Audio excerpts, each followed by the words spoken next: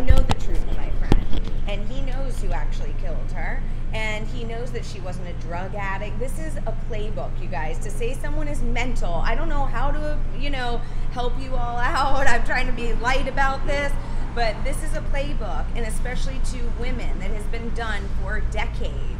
Okay, my father's family had it in his family. I watched my dad do. He's doing it to me now. I've watched him help other friends of his in this town with the old sheriff do this to women and drive them out of town and take their children. You say they're crazy, you grab your chest, you say we've done everything, we'll take the children, we're the saviors. And you know what? That's actually very mob mentality, you know? To make the accusations before the victim can. And it's dirty. And you know what? We also need to understand guilty until proven innocent which is very unfortunate because it's supposed to be innocent until proven guilty. And the crazy thing is, in a situation like this, is you're not even suspected or accused of a crime, yet you still go in this sham form of criminal court to um, be trial like a criminal. Mm-hmm. And we already have the reports and documents of my father making the false reports to the police on the arrests that people want. This is part of the playbook. They discredit you, mm-hmm. they mm-hmm. slander you, they do things to make you crazy and break you. That's why they took my children, everybody. They know that my children are my entire life. They know that. You know so we just have to realize these things and you know again we have the reports of my dad. We have everything. I don't need to speak out. I want people this is a, there's a point to this. Let this not be in vain. Go research. Go find out your rights. Go rethink some things about your life or where you live or your community start getting out there and making sure this is about accountability transparency you know these people have been given immunity to the highest of levels they think they can do whatever they want, and that's unfortunate. Right. You know, I'm not. I'm not complaining that's about not that. That's unfortunate. That's all our public it's courts. It's lawyers, the attorneys. It's everything. You have to understand this whole network. You know, that is a network. They all like you go to work every day and you have coworkers that you know and you see every day in the office.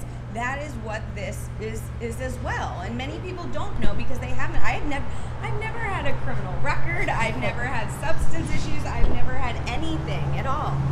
My, I was forced uh, I was forced into a rehab at 28 years old and for nothing. For nothing. Wow. You know, again, telling my parents that this was their abuse. You won't listen, John Revé Walsh. We understand the abuse because of your past, but that is what this is, and it's time to acknowledge it. You know, it should be a blessing that your daughter doesn't have mental illness. Yeah, right. Why would you speak that? They've been speaking that over me since I was small, and cancer as well.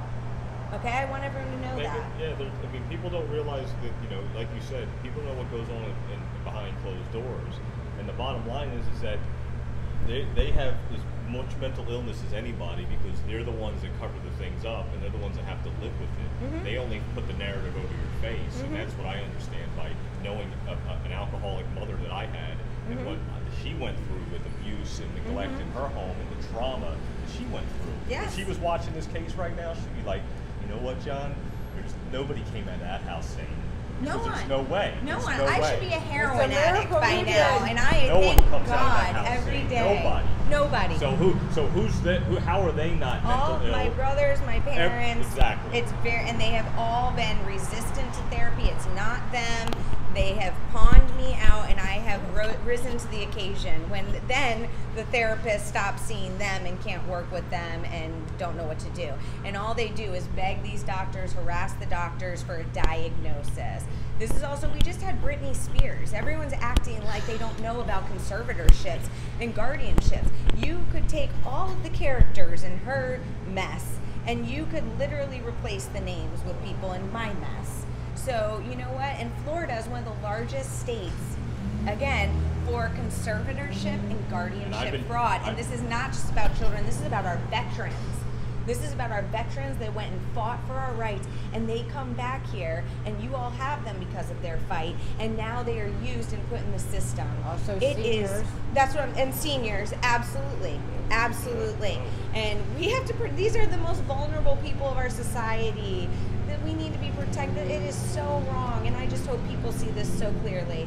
I hope so. I pray that it becomes and clear. We're going to keep sharing everything, and I got a friend that's going to lap some of your old interviews together, so make it a little bit easier for people to get context. Absolutely, yeah, yeah. yeah. He's piece, working piece on all the, the guy that was here the day, George yeah, that would be awesome. And I've had full piece a timeline of everything. I've had full transparency for over a year. People can go Google it. They can look on YouTube. Again, like we were saying here, we'll provide stuff, but you know, again, this is this is really about humanity and where we all come from when we're seeing other things. Whether we step forward, how we judge each other.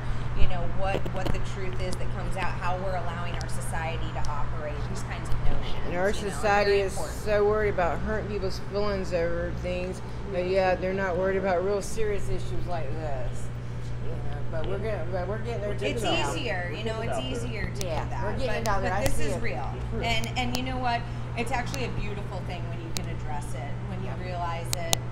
It's it's a beautiful And thing. it is a beautiful thing. You can stand out here and speak your truth and just tell everybody and be authentic and be your true authentic self Thank and not you. disguise anything. Yeah, it Just is. let Meghan. happen. It is nice to finally be. I've lived 40 years almost for John and Revé Walsh. Oh, like. I showed up for anything they needed, even emotionally, whatever they needed at the time. And I'm sick of being the parent. I love my parents. I want them to get help. That's it. They deserve it. This is not the way. It's not too late. This is not the it's way. It's not too late. It's I just late. asked if they would use a Christian mediator and if they would be willing to speak. And from my father, it was a hard no, which is, is sad. It's heartbreaking. But that's free will choice. So It they, is. They, so they, they, they go through their path. It's their, Mhm. everybody has their own collective own dream, journey, their own yep. dream, and it's their own dream. And when the collective dream is coming alive, and the truth shall be shall be told. They will. And, that's, They will. And, that's, and it'll all I feel out in the so blessed to, to be where I am and my faith in the Lord and and the timing, His timing. It's hard sometimes, but it's it's always His timing, and, and I, I'm just honored for that. I, I feel blessed more and more every day.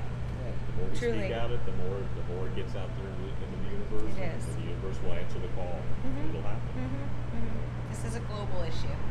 It is sure I didn't make it up. So sorry, guys. I wish. I was that original.